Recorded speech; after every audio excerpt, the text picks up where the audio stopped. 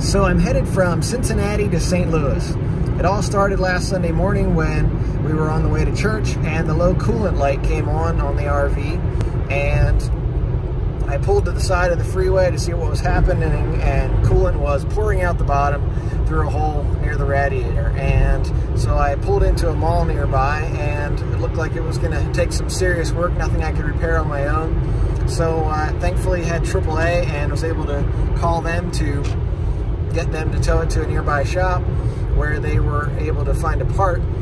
Thankfully, also, there was a rental car place nearby, and we got a car and went over to spend the rest of the day at my sister's house while they were working on it the next day, which was Monday.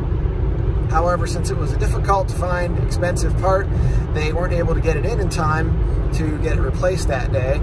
So, and the next day was New Year's Day. So uh, we just kind of continued on the rest of our vacation plans with our rental car.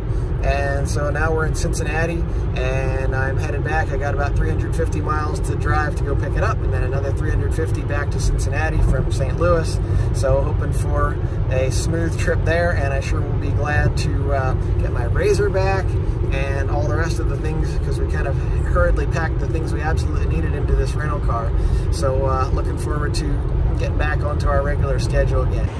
Finally, almost done for the day. I put in about 10 hours of driving through about half the time rain today and I should be getting to bed about 1.30 in the morning. So thankful to uh, have the RV back and running and working with only one minor stop for a little piece that fell off the bottom while I was driving. So uh, another late night, but hopefully it should go better from here.